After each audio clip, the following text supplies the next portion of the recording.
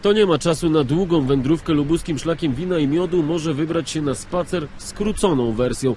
W malowniczym parku przy ulicy Sienkiewicza, w sąsiedztwie siedziby Regionalnego Centrum Animacji i Kultury, stanęła ciekawa ekspozycja. Te murale to dzieło zielonogórskiego graficiarza Jakuba Bitki. Każda z makiet przedstawia inną winnicę, a artysta dzięki wykorzystaniu sztuki graffiti nadaje im zupełnie nowy wymiar. Pierwszy raz mogliśmy oglądać tę wystawę podczas Dni Województwa Lubuskiego na Zielonogórskiej Starówce, a teraz zapraszamy do nas do Regionalnego Centrum Animacji Kultury przy ulicy Sienkiewicza 11. Wystawa winiarskich murali będzie dostępna do zwiedzania do końca sierpnia. Wstęp do parku przy Sienkiewicza jest bezpłatny.